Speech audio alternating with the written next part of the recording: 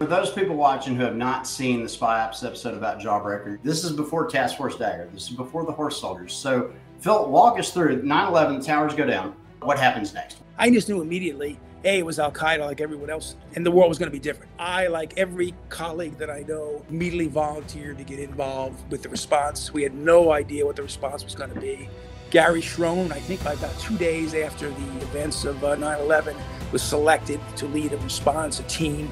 Gary being a Dari speaking case officer with extreme experience in that region, multi time chief of station.